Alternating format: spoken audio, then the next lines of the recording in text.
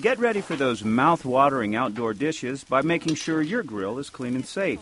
Burned residues from charred meat can contain cancer-causing agents, so keeping a clean grill doesn't just help the food taste better, it may also be better for your health.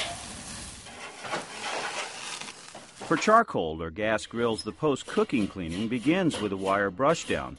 Once that's done and the grates have cooled to the touch, remove and place them in warm soapy water to soak. If your like me and have let a proper cleaning go for too long, soap and water probably isn't going to do it. You're probably going to need a spray-on oven cleaner. After you're once over with a wire brush, spray the oven cleaner on the grate and then place it in a thick plastic trash bag to let the chemicals go to work. You'll need to wear gloves and make sure you do the job in a safe, well ventilated area away from plants, pets, and children. Whether oven cleaner or sudsy water, the grates will need to soak for at least a couple of hours. While the cooking grates soak, remove spent charcoal and other debris using a shop vac for ash dust you can't remove by hand. Make sure the embers have completely died before you start. If you have a gas grill, take care to disconnect the fuel tank and place it away from your working area before you begin. Next, remove the heat plates and clean them with a wire brush. You can also spray them down with some oven cleaner if the job calls for it, placing them in the same bag as your grate.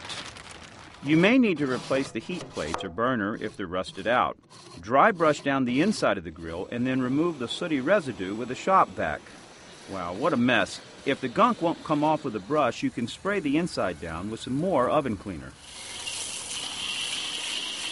In the case of a charcoal grill, a final rinse after brushing the inside works great.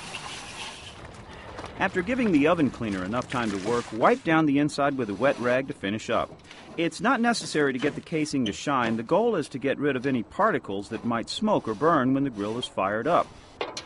What a difference a little elbow grease and a new burner made for this baby. Then give the unit a thorough inspection, checking the lines for dry rot to make sure there isn't anything blocking the flow of gas or obstructing the burners. Whether they've been soaking in water or an oven cleaner, the grates will need one final brush scrubbing and a good rinsing. You'll want to make sure you've removed all oven cleaner residue from the racks. Do this in a utility or kitchen sink with a garbage disposal so the oven cleaner chemicals don't end up in groundwater runoff. If you're a stickler for detail, you can touch up any scratch paint on the outside of your grill with a paint specifically designed for high temperatures.